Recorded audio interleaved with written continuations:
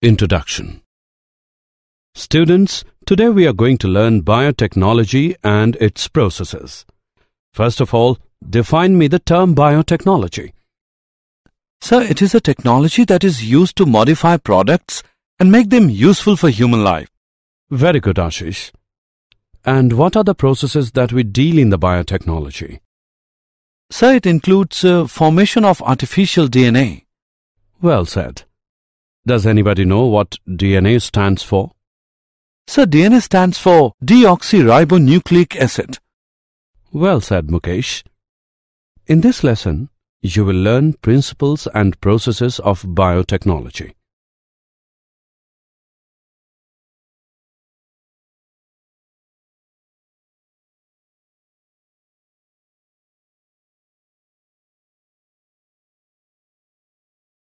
Objectives At the end of this lesson, you'll be able to describe principles of biotechnology, describe construction of an artificial recombinant DNA molecule, describe tools of recombinant DNA technology, discuss separation and isolation of DNA fragments, describe cloning vectors, describe process of recombinant DNA technology.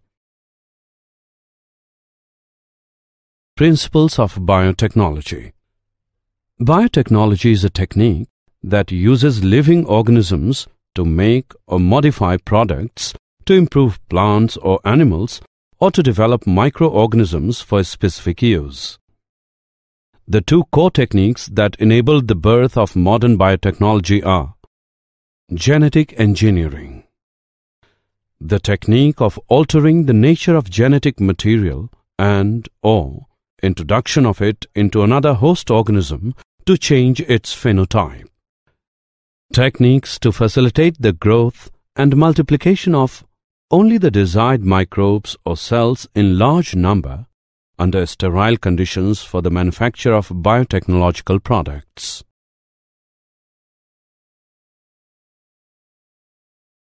Development of principles of genetic engineering.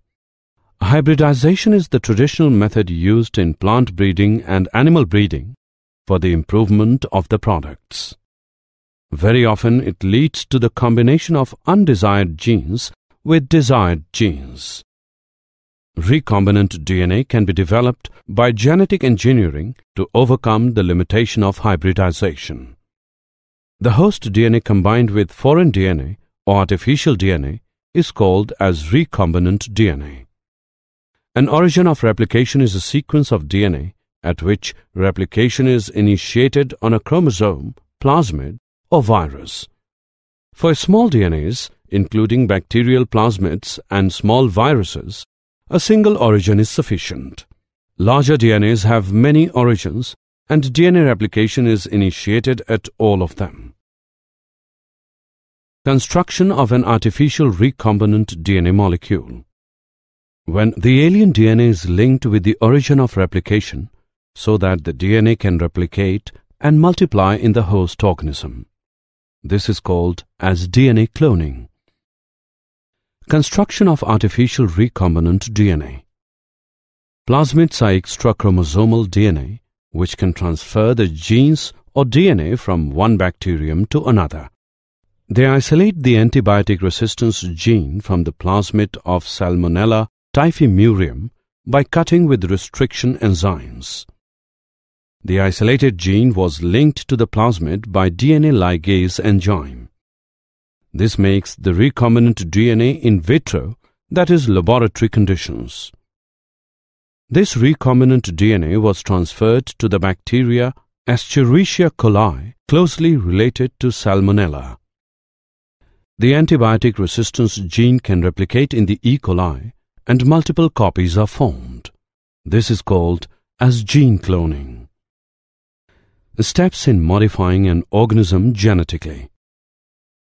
Identification of DNA with desired genes, introduction of the identified DNA into the host, maintaining the introduced DNA in host and transferring the DNA to its progeny. Tools of recombinant DNA technology. Restriction enzymes. Restriction enzymes belong to a class of enzymes called as nucleases. These enzymes can cut the DNA double helix at specific sequences. These are of two types exonucleases, endonucleases. Exonucleases. These enzymes remove nucleotides from the ends of the DNA. Endonucleases. These make the cuts at specific position with the DNA. These enzymes recognize specific sequences called palindromic nucleotide sequences in the DNA. Palindromic nucleotide sequences. It is the sequence of the base pairs that read same on the strands when orientation of reading is kept the same. The following sequences read same on the two strands in 5 dash to 3 dash direction or 3 dash to 5 dash direction. 5 dash GAATTC 3 dash 3 dash CTTAAG 5 dash the first restriction endonuclease was Hind2.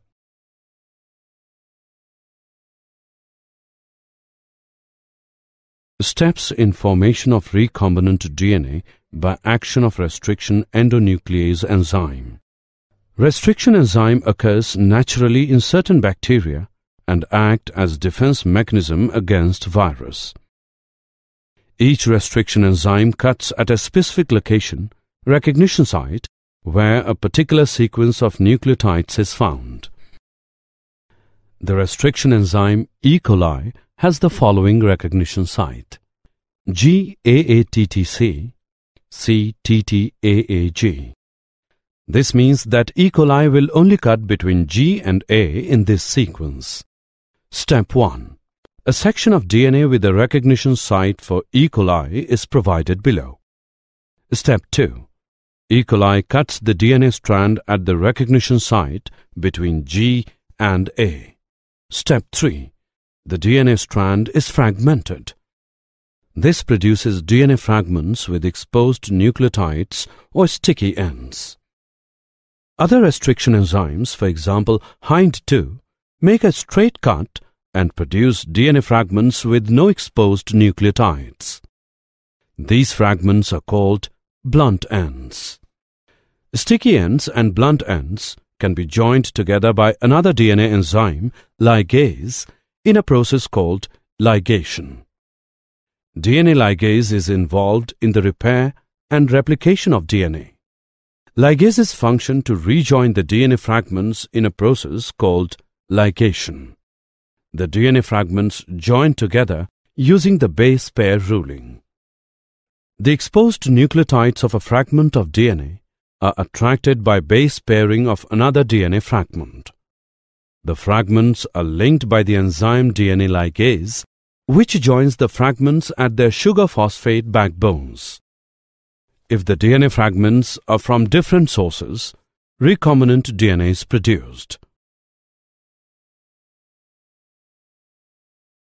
Production of DNA the production of recombinant DNA as a result of the action of the restriction enzyme E. coli and ligation is shown in the following diagram. The enzymes cut both DNA at the same size. After that, both DNA fragment can be joined at the sticky ends, and it results in a recombinant DNA. Separation and isolation of DNA fragments. Gel electrophoresis can be used to separate DNA fragments. Electrophoresis uses an electric current to separate different sized molecules in a porous, sponge-like matrix. Smaller molecules move more easily through the gel pores than larger molecules. Phil Sharp, Joe Sambrook, and Bill Sugden developed the DNA electrophoresis technique using an agarose gel made from highly purified seaweed. The gel is submerged in a tank filled with a salt solution that conducts electricity. Using a pipette, DNA samples are loaded into slots made in the agarose gel. The DNA samples are colorless, but researchers add a blue tracking dye. This makes it easier to load the samples and visually track the DNA migration through the gel. The phosphate groups in the DNA backbone carry negatively charged oxygen, giving a DNA molecule an overall negative charge. In an electric current, the negatively charged DNA moves towards the positive pole of the electrophoresis chamber. The DNA molecules move through the gel by reptation, a reptile-like snaking action through the pores of the agarose matrix. Smaller DNA fragments migrate faster and further over a given period of time than do larger fragments. This is how DNA fragments can be separated by size in an agarose gel.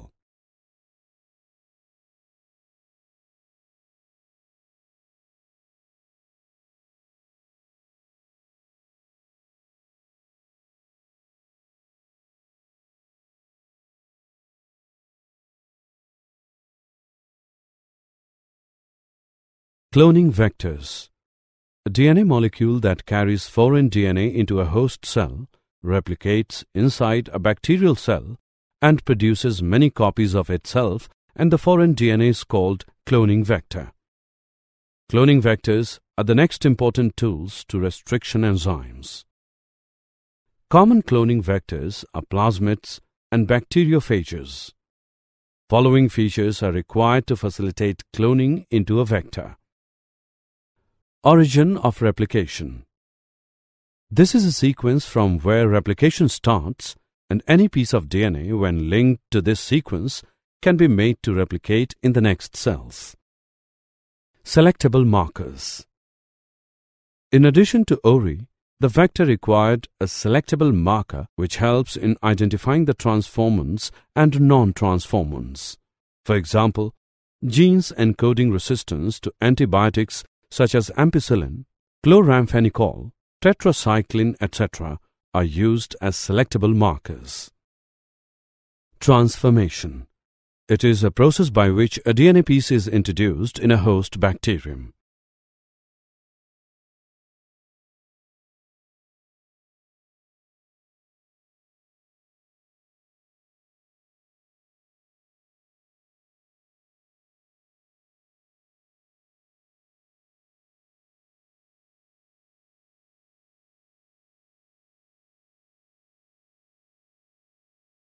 Cloning vectors.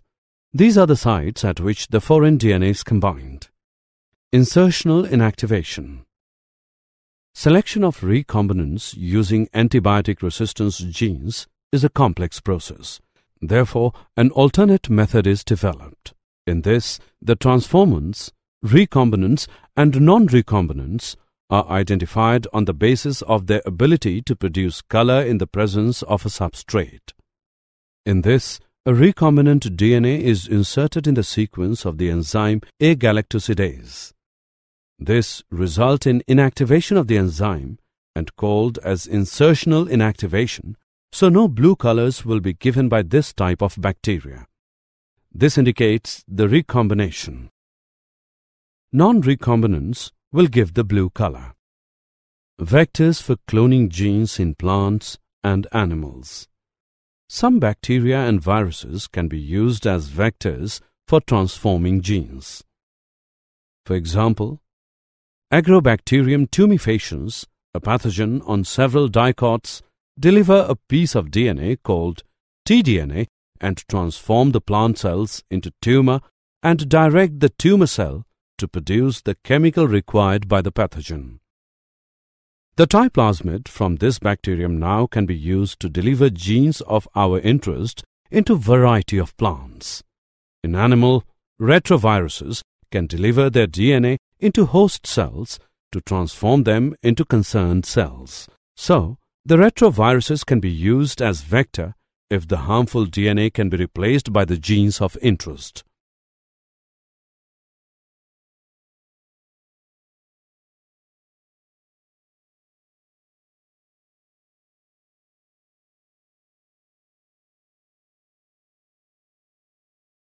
Competent host for transformation with recombinant DNA.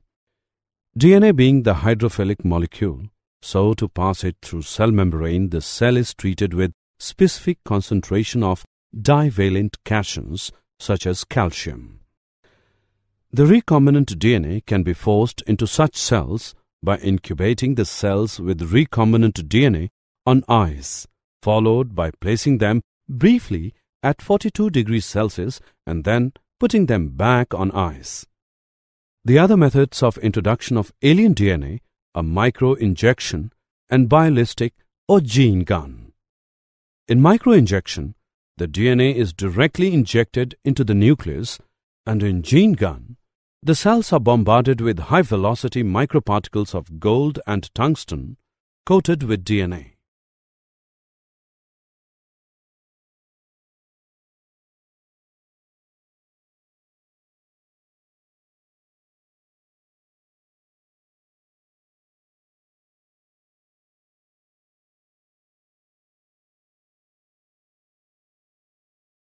Processes of recombinant DNA technology.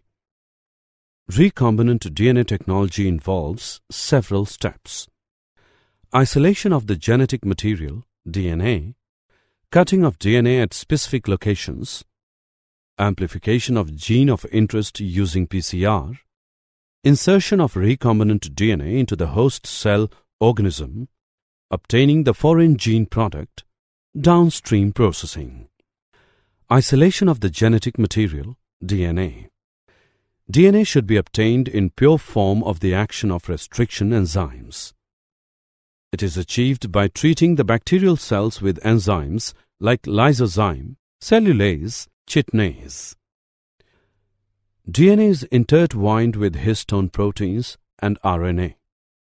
The RNA is removed by treating with ribonuclease while proteins are removed with protease respectively. Other molecules are removed by appropriate treatments and purified DNA ultimately precipitates out after the addition of chilled ethanol. Cutting of DNA at specific locations. Restriction enzymes are used on purified DNA molecules at the optimal conditions. To check the progression of a restriction enzyme, digestion agarose gel electrophoresis is used. The cutout gene of interest from the source DNA and the cut vector with space are mixed and ligase is added to prepare recombinant DNA.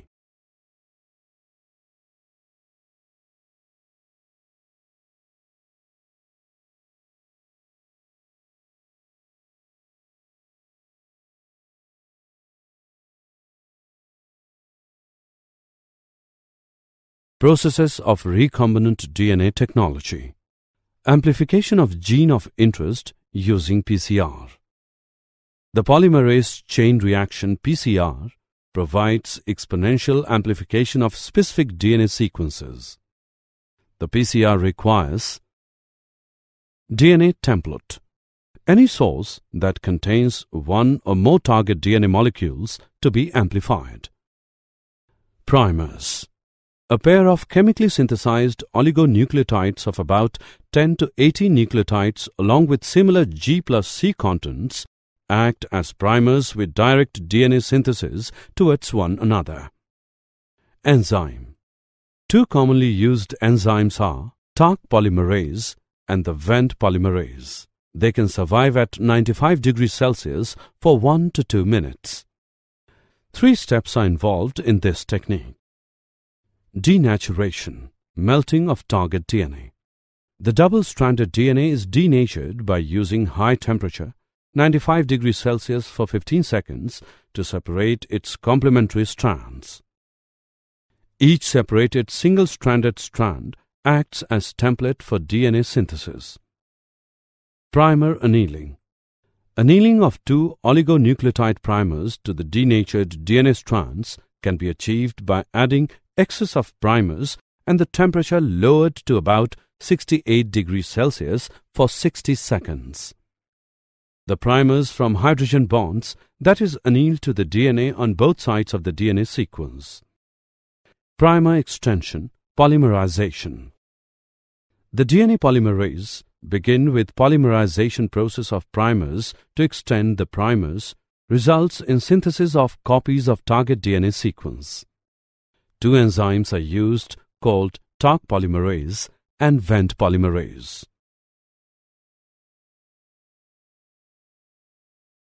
Processes of recombinant DNA technology. Insertion of recombinant DNA into the host cell organism. If recombinant DNA carrying antibiotic resistance, that is, ampicillin, is transferred into E. coli cells, the host cell is transformed into ampicillin resistant cells. The ampicillin resistant gene in this case is called a selectable marker. Obtaining the foreign gene product. The alien DNA gets multiplied generally to produce desirable protein by gene expression. When protein encoding gene is expressed in the heterologous host, it is called a recombinant protein. To produce products in large volume, bioreactors of volume 100 to 1000 liters are used. Bioreactors provide the optimal conditions for achieving the desired product using growth conditions, temperature, pH, substrate, salt, vitamins, oxygen. Commonly used bioreactors are of stirring type, which is usually cylindrical or with a curved base to facilitate the mixing of the reactor contents. The stirrer facilitates mixing and oxygen availability throughout the bioreactor. In the stirred tank, bioreactor air can be bubbled through the reactor. A bioreactor has the components like an agitator system, an oxygen delivery system, foam control system, temperature control system, pH control system, sampling ports. Processes of recombinant DNA technology. Downstream processing. It includes separation and purification, collectively called as downstream processing. It undergoes clinical trials in case of drugs. The downstream processing varies from product to product. Did you know? Newborns die of genetic diseases before doctors even know what's to blame. Now scientists have found a way to decode those babies' DNA in just days instead of weeks, moving gene mapping closer to routine medical care. In just 50 hours, we can decode and interpret a newborn baby's genome.